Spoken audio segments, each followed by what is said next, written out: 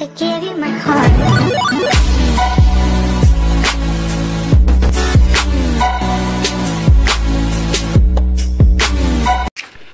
friends education Baba official YouTube channel पर आपका स्वागत है।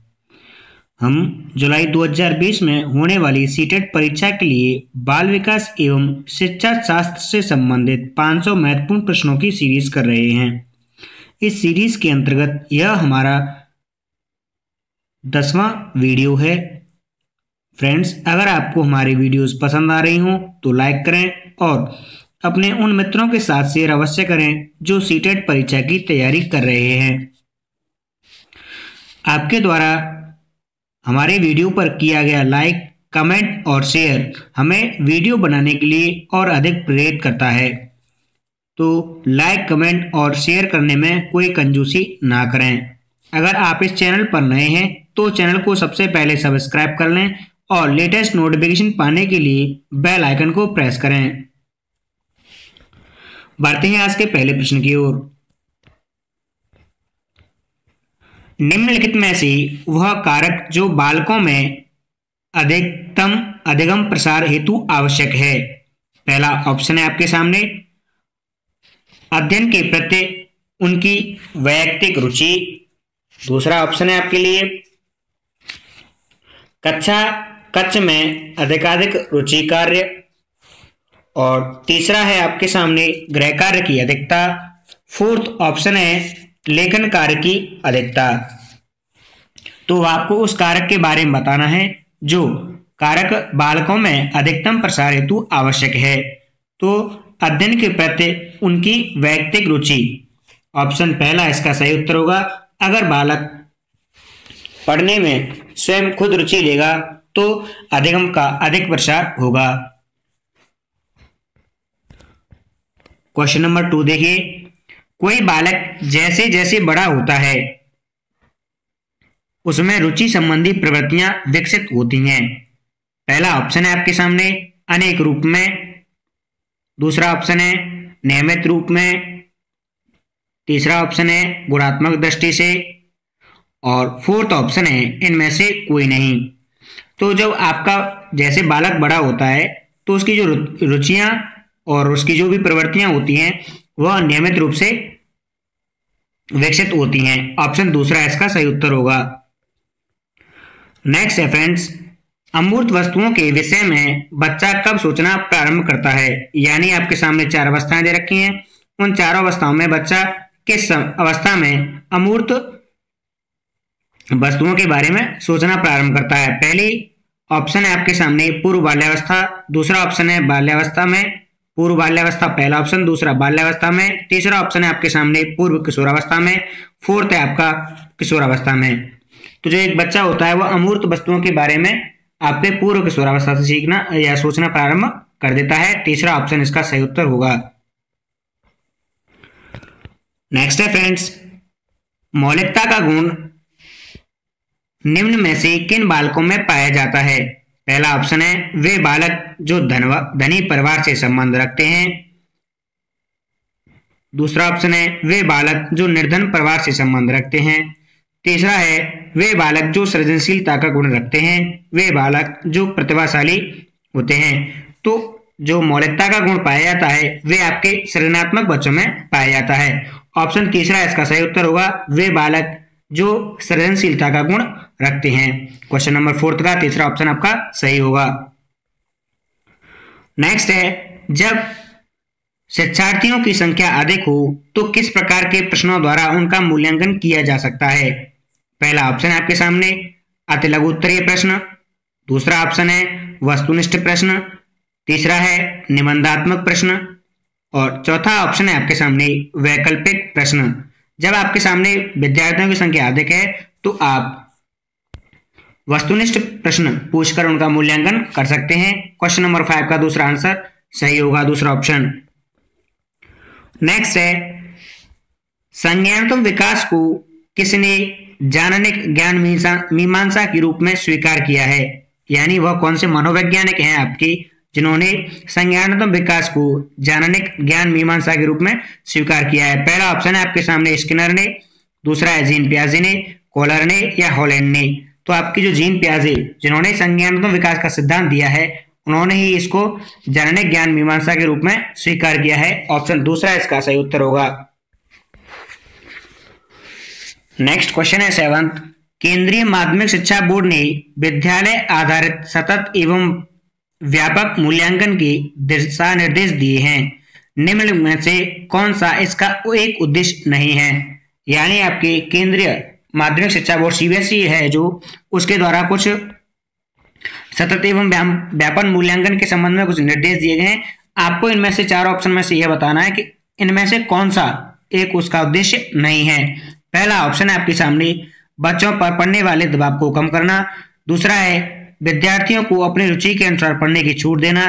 तीसरा है, छात्रों की प्रवीणता के निर्धारण के लिए अंकों के स्थान पर ग्रेडों का उपयोग।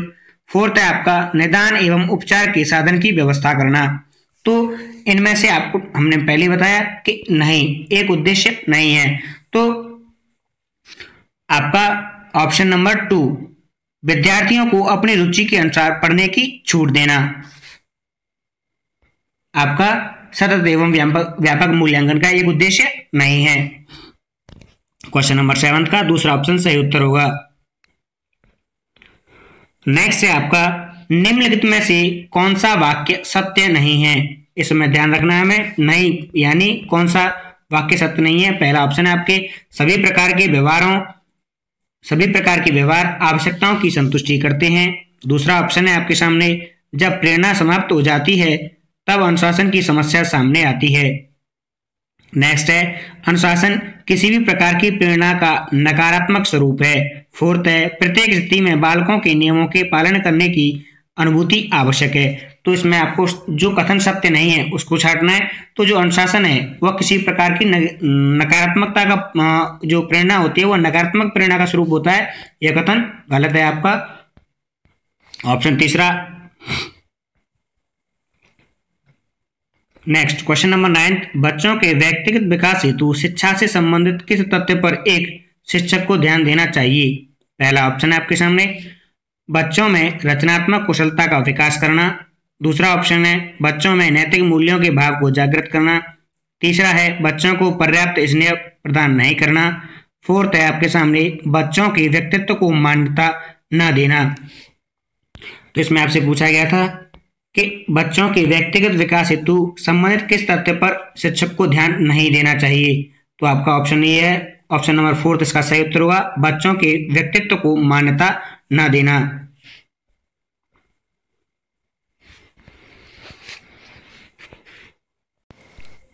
क्वेश्चन नंबर नाइन्थ का, आपका फोर्थ ऑप्शन सही है, बच्चों के व्यक्तित्व को मान्यता न देना, क्योंकि एक बच्चे को संरचनात्मक कुशलता, विकास, नैतिक मूल्यों के विकास जो भाव होता है, उनके लिए हमें जागृत करना चाहिए, और एक बच्चे के साथ हमें यानी अधिक पर्याप्त स्नेह प्रदान नहीं करना या स्नेह प्रदान नहीं करना चाहिए तो अब इसके हिसाब से फोर्थ ऑप्शन आपका सही उत्तर होगा।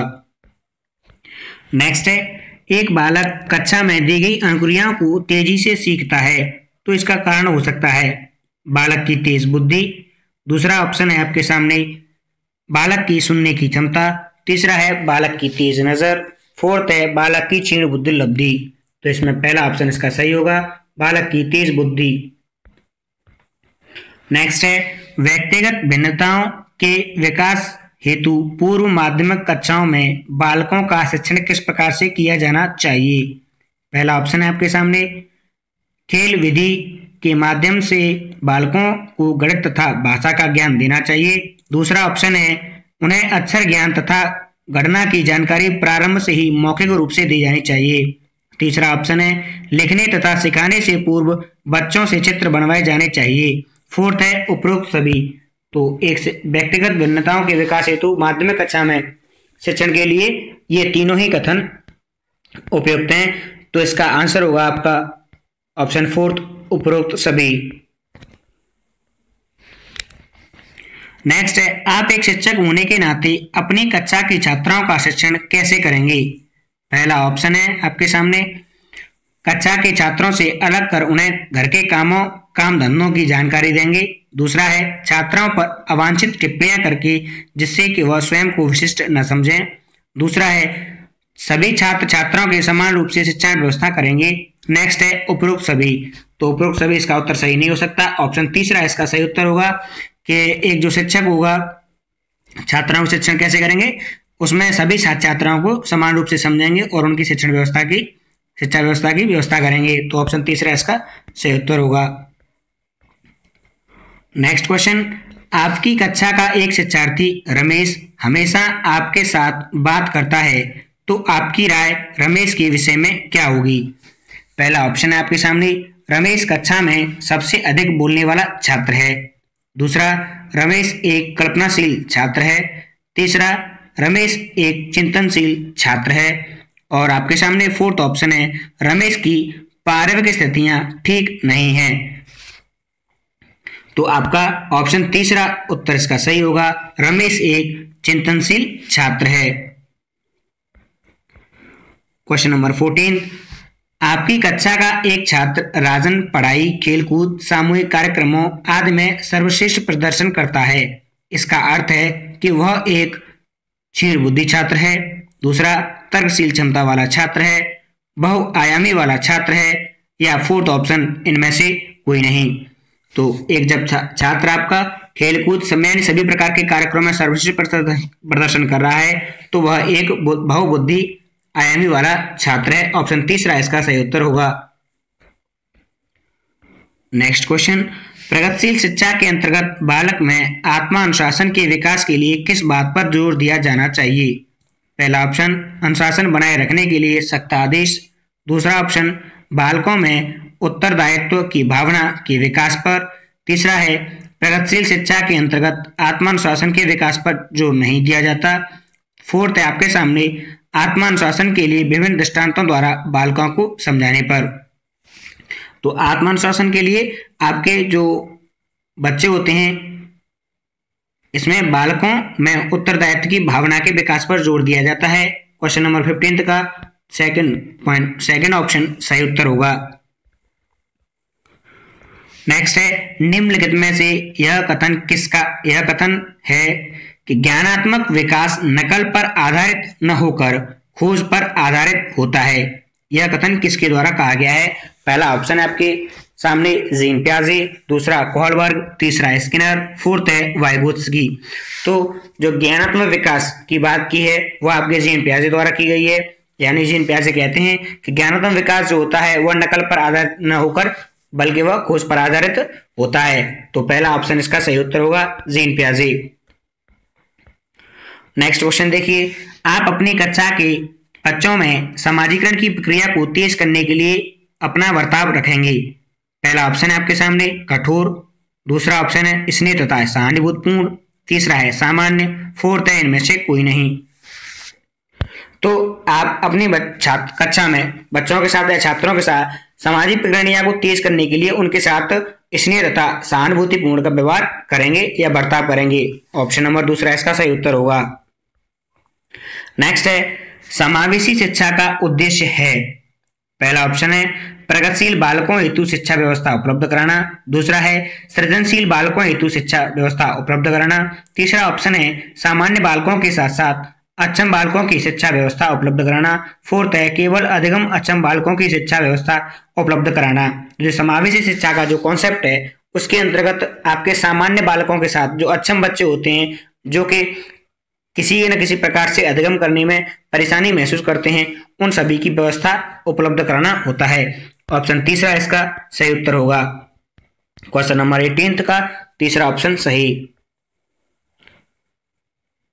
नेक्स्ट बढ़ते हैं। एक बालक पहले पूरे हाथ को, फिर उंगलियों को और फिर हाथ और उंगलियों को एक साथ चलाना सीखता है। बाल विकास के संबंध में यह सिद्धांत है। पहला ऑप्शन है आपके सामने। परस्पर संबंध का सिद्धांत, दूसरा है सामाजिक अधिगम सिद्धांत, तीसरा है एकीकरण का सिद्धांत, फोर्थ है इनमें से कोई नहीं। तो जब बच्चा पहले पूरे हाथ को, फिर उंगलियों को और फिर हाथ और उंगलियों को दोनों को एक साथ चलाना सीखता है तो यह बाल विकास का आपका एकीकरण का सिद्धांत होता है। ऑप्शन तीसरा इसका, सही उत्तर होगा। क्वेश्चन नंबर ट्वेंटी देखिए, मानव विकास एक निरंतर चलने वाली प्रक्रिया है, यह विचार संबंधित है। पहला ऑप्शन है अंत संबंध का सिद्धांत, दूसरा है निरंतरता का सिद्धांत, तीसरा है एकीकरण का सिद्धांत, फोर्थ है अंत क्रिया का सिद्धांत। यानी जो विकास होता है, वो निरंतर चलने वाली प्रक्रिया होती है। यह सिद्धांत आपका निरंतरता का सिद्धांत होता है। इसका दूसरा ऑप्शन सही उत्तर होगा। Question number twenty one. एक एकल अभिभावक वाले बच्चे को पढ़ाते समय शिक्षक को स्थिर और एक रूप वातावरण उपलब्ध कराना चाहिए। दूसरा है, इस तथ्य को अनदेखा करना चाहिए और ऐसे बच्चे के साथ, अन्य बच्चों के समान व्यवहार करना चाहिए। इस प्रकार के बच्चे के साथ भिन्न प्रकार के व्यवहार करने चाहिए। फोर्थ है, ऐसे बच्चे को कम गृह कार्य देना चाहिए। तो इसमें आपका जो एकल अभिभावक हो या फिर किसी भी किसी के दो बच्चे हों, इससे कोई फ़र्क नहीं पड़ता। तो हमें उस बच्चे के साथ, जैसे हम सभी बच्चों के साथ जैसा व्यवहार करते हैं, वैसा ही व्यवहार हमें उस बच्चे के साथ करना चाहिए। तो आपका दूसरा ऑप्शन सही उत्तर होगा। इस तथ्य को अनदेखा करना चाहिए और ऐसे बच्चे के साथ साथ अन्य बच्चों के साथ समान व्यवहार करना चाहिए। नेक्स्ट क्वेश्चन है, प्रतिभाशाली बच्चों के संदर्भ में संवर्धन का अर्थ है। पहला ऑप्शन है ऐसे विद्यार्थियों को वर्तमान स्तर ग्रेड को छोड़कर अगले उच्च स्तर ग्रेड में प्रोन्नत करना। दूसरा है आकलन की प्रक्रिया का संवर्धन करना। दूसरा, तीसरा ऑप्शन है आपके सामने शैक्षणिक गतिविधियों के संपादन में संवर्धन करना। फोर्थ है आपके सामने ऑप्शन शैक्षणिक गतिविधियों के संपादन की गति को बढ़ाना। तो इसके अंतर्गत ऐसे विद्यार्थियों के साथ आप ऐसे विद्यार्थियों को समान वर्तमान स्तर से ग्रेड को छुड़वाकर हम उसको अगले स्तर में प्रोन्नत कर देंगे। क्वेश्चन नंबर ट्वेंटी टू का पहला ऑप्शन इसका सही उत्तर होगा। नेक्स्ट क्वेश्चन है। बच्चों के लिए मुफ़्त एवं अनिवार्य शिक्षा अधिनियम 2009 में अनिवार्य शब्द का अर्थ है। पहला ऑप्शन है, दंड से बचने के लिए माता, पिता अनिवार्य रूप से बच्चों को स्कूल भेजने के लिए बाध्य हैं। दूसरा है, सतत परीक्षण के माध्यम से अनिवार्य शिक्षा प्रदान की जाएगी। तीसरा है, केंद्र सरकार दाखिले, उपस्थिति और प्राथमिक शिक्षा को पूर्णतः सुनिश्चित करेगी। फोर्थ है, उचित सरकारें उपस्थिति और प्राथमिक शिक्षा की पूर्णता को सुनिश्चित करेंगी। तो जो अनिवार्य शब्द का अर्थ है, वह यह है कि जो एक से चौदह वर्ष, यानी चौदह वर्ष तक के बच्चे जितने भी हैं, उनके लिए शिक्षा की व्यवस्था जो होगी, वह सरकार करेंगी। तो उसका आपका फोर्थ ऑप्शन इसका सही होगा। उच्च सरकारें उपस्थिति और प्राथमिक शिक्षा की पूर्णता को सुनिश्चित करेंगी। नेक्स्ट क्वेश्चन है आपका। किशोरों के अंदर जो सामाजिक नेतृत्व का गुण पाया जाता है, उसका संबंध होता है। पहला ऑप्शन है अन्य लिंग के सदस्यों की मित्रता से। दूसरा ऑप्शन है मानसिक शक्तियों से। तीसरा ऑप्शन है आपके सामने स्कूल की उपलब्धि, उपलब्धियों से। फोर्थ है शारीरिक संगठन से। यानी जो किशोरों के अंदर सामाजिक नेतृत्व का जो गुण पाया जाता है, वह उसकी मानसिक शक्तियों के कारण या उनसे संबंधित होता है। ऑप्शन दूसरा इसका, सही उत्तर होगा। नेक्स्ट क्वेश्चन देखिए। Question number twenty five. प्याजे के अनुसार निम्नलिखित में से कौन सी अवस्था में बालक वस्तुओं के विभिन्न समूहों में वर्गीकृत कर सकता है? यानी जीन प्याजे के अनुसार वह कौन सी अवस्था है? जब बच्चा विभिन्न प्रकार की वस्तुओं को, उनको वर्गीकृत कर सकता है। तो पहला ऑप्शन है आपके सामने। औपचारिक संक्रियात्मक अवस्था। दूसरा ऑप्शन है मूर्त संक्रियात्मक अवस्था। तीसरा है संवेदी प्रेरक अवस्था। और फोर्थ है आपका पूर्व संक्रियात्मक अवस्था। तो जो मूर्त संक्रियात्मक अवस्था होती है, उसके अंतर्गत बच्चा विभिन्न प्रकार की वस्तुओं के बीच में वर्गीकरण करना सीख जाता है। ऑप्शन नंबर दूसरा इसका सही उत्तर होगा। Next question question number twenty six शिक्षण में संपूर्ण उपागम की संतुष्टि की जाती है क्योंकि इससे शिक्षक को दैनिक कार्य योजनाओं के निर्माण से मुक्ति मिल जाती है। दूसरा है, इसके द्वारा प्रकरण के महत्वपूर्ण अंगों पर अतिरिक्त बल प्रदान किया जाता है। नेक्स्ट ऑप्शन है आपके सामने। यह शिक्षण को सार्थक दिशा निर्देश प्रदान करता है। फोर्थ है, यह परीक्षण कार्यक्रम को अधिक प्रभावी बनाता है। यानी जो शिक्षण में संपूर्ण उपागम की संस्कृति जो की जाती है, वह आपके शिक्षण को सार्थक दिशा और निर्देश प्रदान करने के लिए की जाती है। ऑप्शन तीसरा इसका सही उत्तर होगा। नेक्स्ट बुद्धि की वैयक्तिक परीक्षा का गुण नहीं है। पहला, इसे केवल अनुभवी व्यक्ति ले सकता है। दूसरा ऑप्शन है, यह परीक्षा छोटे बालकों के लिए अधिक उपयुक्त है। नेक्स्ट इस परीक्षा में प्रश्नों को कम परिश्रम के द्वारा बनाया जा सकता है। नेक्स्ट है, इस परीक्षा के निष्कर्ष प्रामाणिक और विश्वसनीय होते हैं। तो आपको इसमें पूछा गया था कि बुद्धि की व्यक्तिक परीक्षा का इसमें से कौन सा गुण नहीं है। तो इस परीक्षा के प्रश्नों को कम परिश्रम के द्वारा बनाया जा सकता है। ऑप्शन तीसरा आपकी बुद्धि की व्यक्तिक परीक्षा का एक गुण नहीं है। नेक्स्ट क्वेश्चन की तरफ़ बढ़ते हैं। क्वेश्चन नंबर ट्वेंटी एट है आपका। डैश का व्यक्ति, दया और सहानुभूति में विश्वास करता है तथा उसे सत्य और मानवता में अगाध श्रद्धा होती है। पहला ऑप्शन है सामाजिक व्यक्तित्व वाला व्यक्ति। दूसरा है धार्मिक व्यक्तित्व वाला व्यक्ति। फोर्थ थर्ड ऑप्शन है कलात्मक व्यक्तित्व। और फोर्थ है आपका राजनीतिक व्यक्तित्व। तो इस प्रकार की जो सहानुभूति या विश्वास करता है, वह आपका सामाजिक व्यक्तित्व वाला व्यक्ति होता है। पहला ऑप्शन इसमें सही होगा। नेक्स्ट क्वेश्चन है आपके सामने। शिक्षार्थियों में अनुभूति की भावना मुख्य रूप से किसके परिणाम स्वरूप विकसित होती है? पहला ऑप्शन है मानसिक विकास, दूसरा है शारीरिक विकास, तीसरा है आपके सामने पारिवारिक विकास, फोर्थ है सामाजिक विकास। तो शिक्षार्थियों में जो अनुभूति की भावना मुख्य रूप से जो विकसित होती है, उसके पीछे आपका मानसिक विकास जिम्मेदार होता है। तो ऑप्शन पहला, इसका सही उत्तर होगा। फ्रेंड्स आजकल अंतिम प्रश्न। अगर आपको हमारी यह वीडियो पसंद आई हो तो लाइक करें और अपने मित्रों के साथ शेयर अवश्य करें जो मित्र आपके सीटेट की परीक्षा की तैयारी कर रहे हैं। जब कोई बालक संवेग की अवस्था में होता है तो उसमें प्राय देखने को नहीं मिलता, मिलती है। पहला ऑप्शन है आपके सामने, सामान्य व्यवहार। दूसरा है, असामान्य व्यवहार। और नेक्स्ट है, मनोवैज्ञानिक परिवर्तन। और फोर्थ है आपका, उत्तेजना। तो जब कोई बालक संवेग की अवस्था में होता है तो उसमें प्राय को नहीं मिलती। तो उसमें सामान्य व्यवहार हमें देखने को नहीं मिलता है। ऑप्शन पहला इसका, सही उत्तर होगा। फ्रेंड्स अगर आप इस चैनल के साथ नए हैं तो चैनल को सब्सक्राइब कर लें और लेटेस्ट नोटिफिकेशन पाने के लिए बेल आइकन को प्रेस करें। Thank you for watching